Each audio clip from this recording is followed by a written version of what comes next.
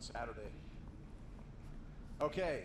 Thank coaches with us. Our post-game interview with Coach Hoiberg is brought to you by NDOT Highway Safety Office. Any way you look at it, buzz driving is drunk driving. Coach, congratulations on this one. I'm just curious how, what you think about how you played versus what you expected maybe to see today. Yeah, I, you know what? I was confident that our guys would come out and play with great energy. That that was one thing that I really felt good about with this group is, uh, and is a lot of that's just because their competitive spirit. And I thought early on our talking was phenomenal. Uh, I thought our unselfishness. I think 12 of our uh, first 16 baskets were assisted. I thought our pace was really good. Uh, I thought we did a good job with activity with our hands and that got us out in the break. But uh, you know, I thought Delano got us off to a really good start, just doing everything. I thought he just, you know, you look at his overall box with, uh, you know, points, rebounds, assists, steals, and blocks. Four blocks, three steals, uh, and made some really simple plays. Lat got us going early with uh, with a couple threes. It was good to get Trey uh, that early one at the rim on a lob play. And you know, again, everybody, like I told the team after the game, that was a true team performance. Everybody that stepped on the court made a great contribution, and that's what it's all about. Yeah, coach, I agree, and I, lo- I love the the lineup you threw out there to start the game, and, and even off the bench, and you have uh, multiple ball handlers at any given time. Talk about uh, with the ability that when, when you guys get a turnover like you did today, force 27 or a defensive rebound, when you have all those ball handlers, talk about what that means when you can get out and transition, really push the pace. Yeah, and you know I think a great example that Teddy had the ball in the middle and threw the lob uh, to Trey, uh, streaking down the right side of the floor, and we had multiple plays like that. You know, had, had we been able to make a layup there at the end, you know, would have been even better. But you know, I thought our guys did a really good job of just playing unselfish basketball, and that that's what we've really hit hard on. Is things don't change now that we're starting to play and games count. We need to continue to do the things that we have stressed to this point that have made us a true team. Uh, and you look at the balance uh, across the board. I think we had six and double figures. Of you know, Ivan could have finished one of those. He certainly would have been in double figures, and then Thor had nine. And Thor uh, was a, or sorry, Thor eight, Ivan nine. But you know, Thor was huge, chasing uh, Kuxhausen around those screens. That kid never stops moving, and to limit those threes was a credit to Thor, and I thought our uh, other team had great awareness. The rest of the guys had great awareness of where he was at all times. Huskers win at 102 to 55. We'll take a break and be back and t- talk more with Coach right after this timeout. From Learfield IMG College, this is the Husker Sports Network. Hey guys, you're good.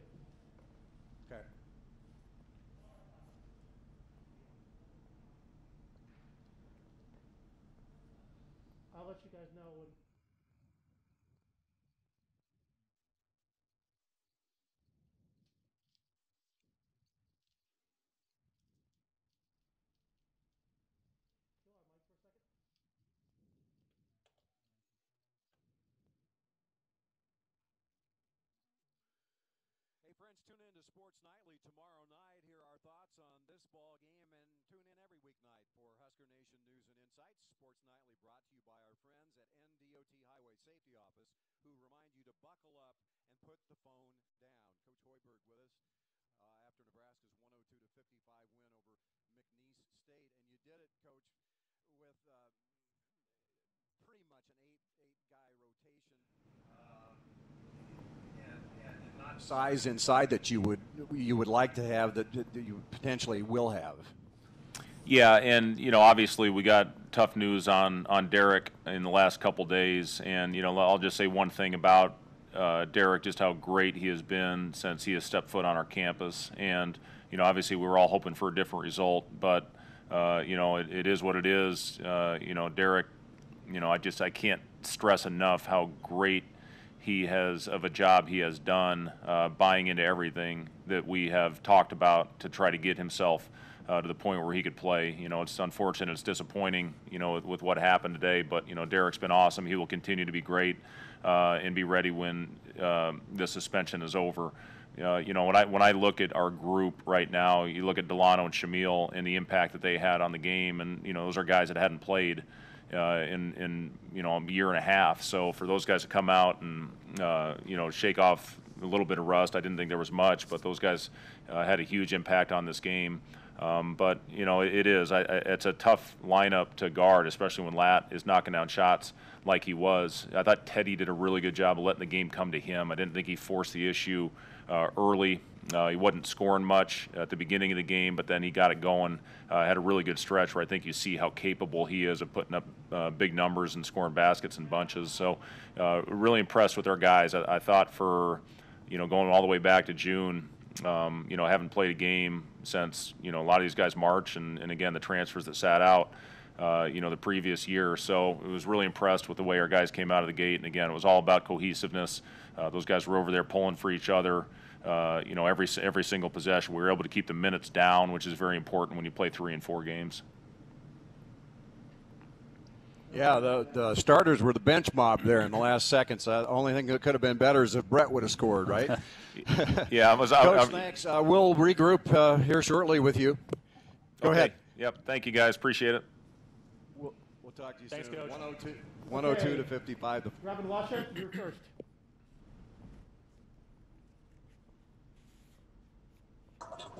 Fred, can you hear me okay? Yeah, I got you, Robin. Nice mask. Thanks. uh, so, obviously, this was your first game against a live opponent.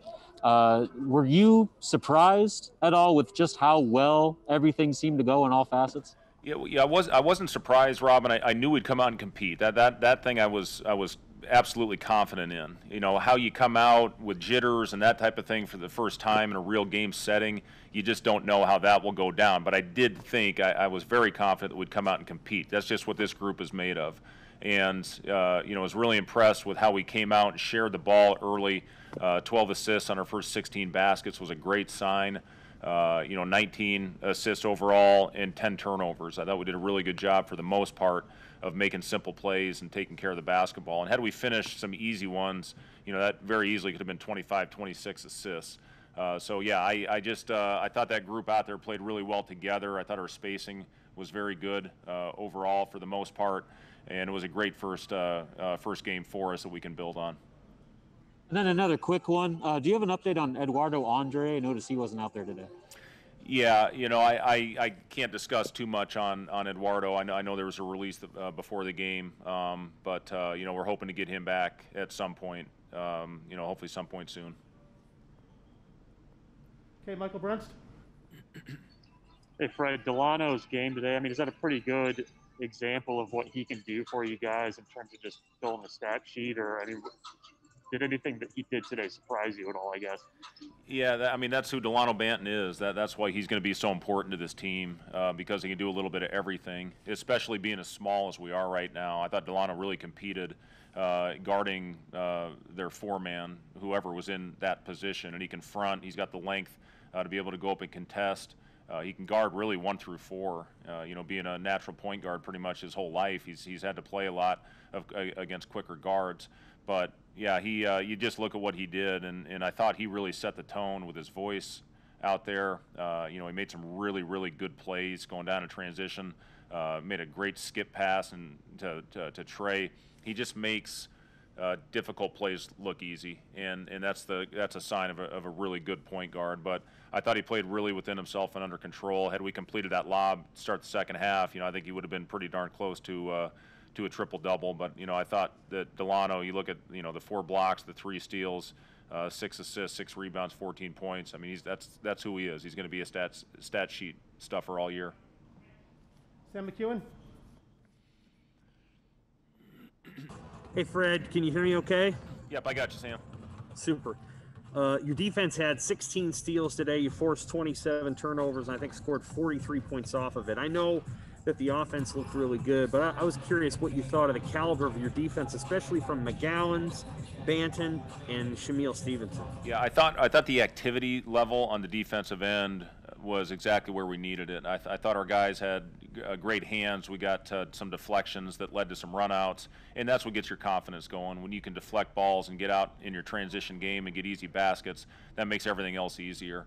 Uh, so you know to, to see uh, 43 off turnovers, 29 on a break. You know that's that's a great sign. That, that's going to be something we have to do because again, we're not going to be the biggest team here uh, for this first half of the season. So we're going to have to find a way to manufacture points, get deflections, and hopefully lead to some transition baskets. And you mentioned Thor. I know he had to kind of chase around Kuxhausen all day. Is he a guy that you feel like can do that more often for you guys when you're playing better offensive teams? Yeah, that, that's that, that's just who we felt would be our main defender on on uh, just because we felt he's our most disciplined guy, and he was able to lock on that hip. We weren't helping off of him, and uh, we were going to chase and not switch anytime unless it was an emergency. And, and I thought Thor did a really good job. If you get on top of him and allow him to get into your body, it's over.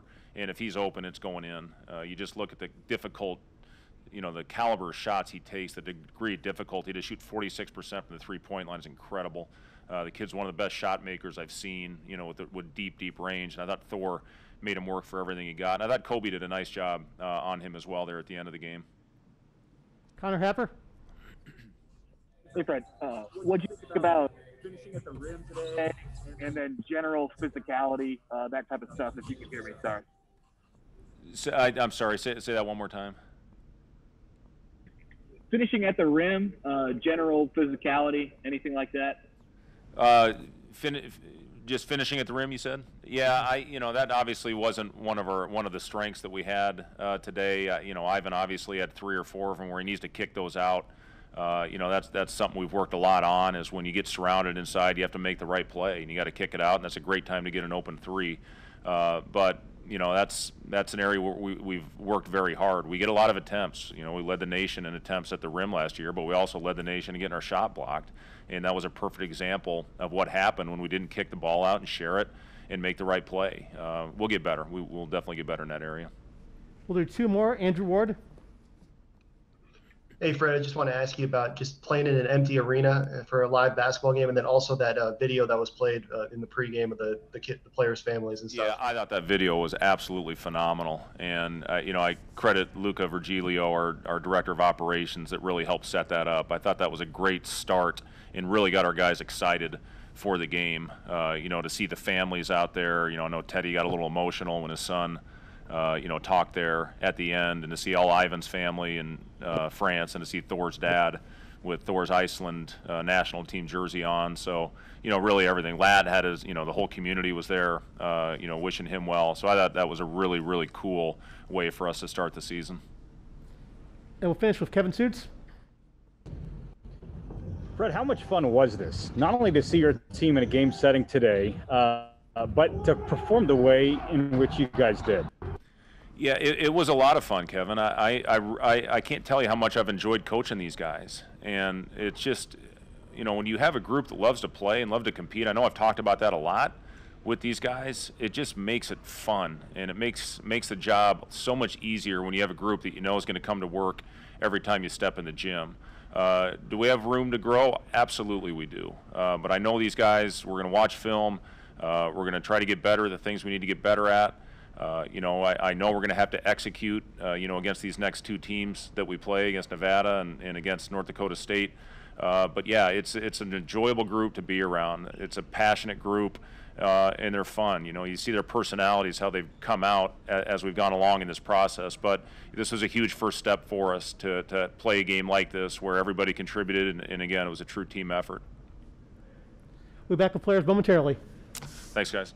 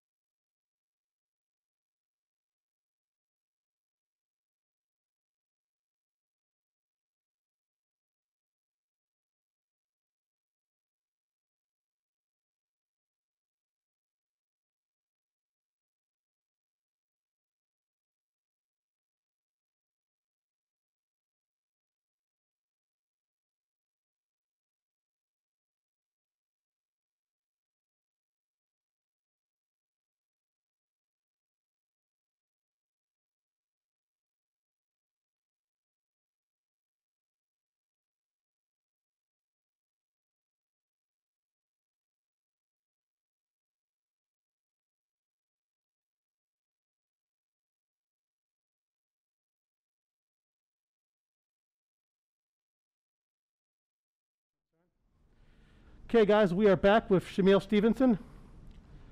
I'll start with Chris Basnett. Hey, Shamiel, can you hear me all right? Yeah, yeah, I can hear you. I guess, you know, just for you personally and, and for the team as a whole, how did it feel to, to be back on the court and, and playing in an actual game that, that you know, that, that finally meant something?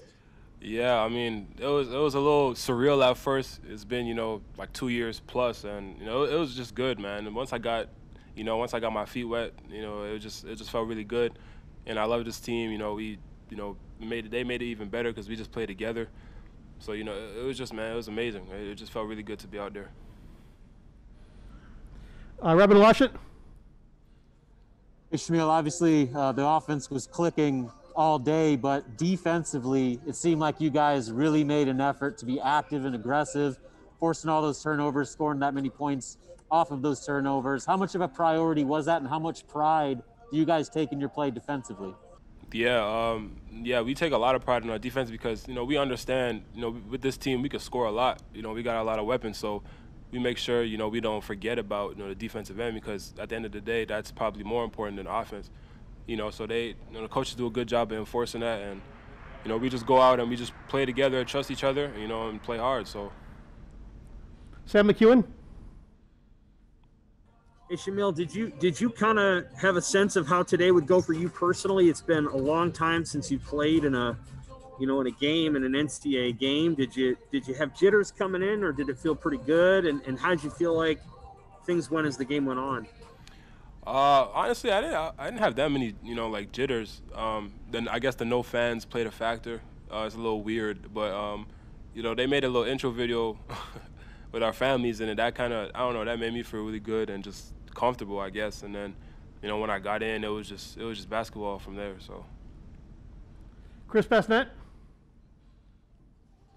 Shamiel, Coach Coach Hoiberg has talked about how this team has had great chemistry, you know, in practices and through the offseason, and, and that seemed to, you know, show through today with the way you guys, you know, interacted on the bench and everything. I guess, how have you seen that chemistry kind of build, and is that kind of what we can expect the, the rest of the year from you guys? What we saw today? Yeah, um, no, absolutely. Our, our chemistry is great on and off the court, and I mean, it can't even it can get better, I guess, but it's like already at such a high level because we've been, you know, together since June consistently every day, and you know, all the guys like each other. You know, there really isn't no tension anywhere. Ain't no, there's not no, know, groups, you know, divide, divide groups or anything. And so I think our chemistry is just going to continue to rise, and it's going to help us, you know, even that much more. So. Robin Washut. Shamiel, what's it like playing with Delano Banton? I mean, is that like anything that you've experienced having a guy with that size, that length, and just skill set running the show? It seems like a pretty uh, uh, intriguing deal you guys have at the point guard spot. Yeah, no, that's my guy. Um, I love playing with him. Uh, super unselfish, and no, I, I really haven't played with somebody that size with that skill set. You know, it's it's actually kind of it's crazy. You know, we're we're so used to it. You know, we kind of overlook it, but now his skill set is you know it's crazy, and I, I love playing with him. You know, he he gets everybody involved. He can score. You know, he's a do-it-all kind of guy. So you know, I love having him as a teammate. Any other questions for Shamiel? Give me a note in the chat.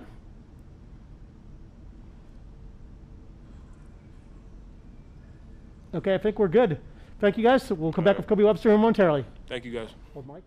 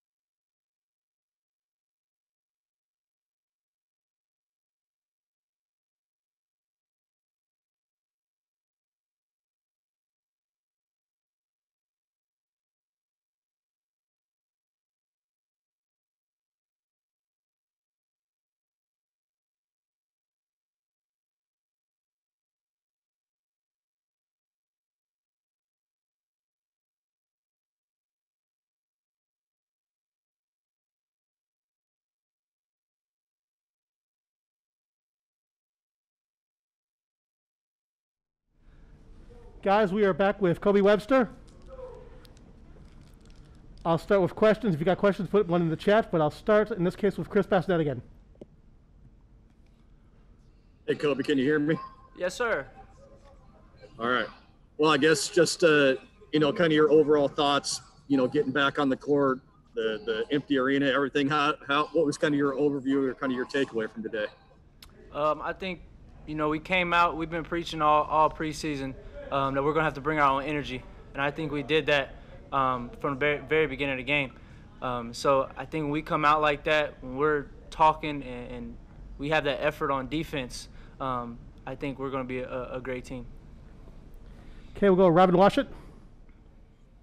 Well, you guys have talked about the number of weapons you have offensively, but six guys in double figures today, eight with eight or more points. Uh, was this kind of an example of what you guys had seen in practice where literally anyone can go off at any time? Yeah, definitely. Um, Coach literally said the same thing yesterday. You know, there's going to be nights um, where some guys may not shoot it well, um, and other guys have to pick them up. And we have plenty of weapons that can do that. Um, you know, and we have guys that there's I think seven or eight of us, you know, that can get 20 if need be, um, if we get hot. So, um, yeah, we have plenty of weapons, and so I think it comes down to us continuing to be unselfish um, and just playing through the system. Okay, Michael Bruntz. Kobe, knowing you guys are going to kind of rotate through, you know, a bunch of guys, does it make it a little bit easier for you coming off the bench to know that you know you're still going to have your opportunity to, to do what you can? What, what was the question? I'm sorry, it kind of cut out. Knowing how many weapons you guys have, I mean, does it does it make it easier for you coming off the bench, knowing that you're going to have your opportunity to get in there and, and kind of show what you can do too? Yeah, no doubt. Um, you know, I'm for me, it's all it's all about getting the win. So if, if it's me coming off the bench to score, if it's me, you know, uh, guarding a shooter as I, I did some today, um, you know, having however many assists, I'm all about getting the win, and I'm pulling for all my guys. So I'm sure you see me over there yelling uh, plenty when guys were shooting, uh, when we, you know, we got some fast break dunks, whatever the case may be. So um, I'm just all about the win. Sam McKewon. Hey, Kobe, what is it like to have to face the defense of a Trey McGowens in practice? He was really active today on the defensive end, and then also he's just so active and athletic on offense too. What what are what are opposing teams and I guess in store for with a guy like that? Um, I mean, you said it. He's very active. Uh, the dude doesn't really get tired. Um, I think today was the first time I actually seen him ask for a sub. Um, but no, like you said, he's active on both ends. Super athletic. Um, I think you know his, his has long arms. Uh, you know he can be very disruptive and in practice uh, he's definitely definitely can be annoying. Um, but but you know he makes me better, so um, I appreciate it. Kevin Sjuts. Kobe, just a few days ago, your teammates said that uh, you know they were just excited to play, and for you guys to get on the court and perform in that uh, that way, shape, and form, what did that mean to you? What was it? What did he say? I'm sorry, I didn't hear it. Kevin, repeat the question, please. Seamus, I'm sorry, but the PA announcer's talking right now. I apologize, Kobe. I know, we usually won't have this problem. Repeat. Hold on. Hey guys, I think this might be it. Hold on, one second. Hold on. Kobe, sorry about Hold on. We're live. Hold on, we have some PA problems. The PA guy's too loud, guys.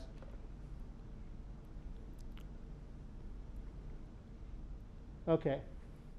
Hey guys, this might be it. I'll, Ke- or Kevin, give me a call and we'll Could we try right now? There we go. Kobe, thank you for your patience. Sorry about that.